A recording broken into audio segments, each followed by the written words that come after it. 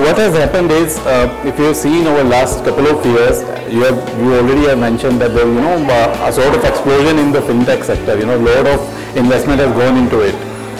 Uh, it's because uh, though RBI is there, is regulating everything, but you know, still we have uh, laid down rules and regulations which are little uh, convenient for companies to work in, and the growth also is uh, exponential in India. Market is huge.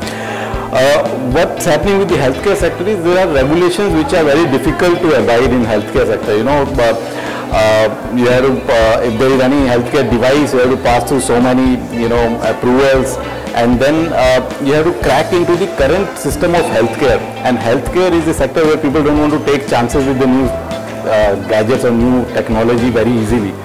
It has a longer gestation period. Uh, because of it, it becomes you know difficult for investor to invest and come out of it.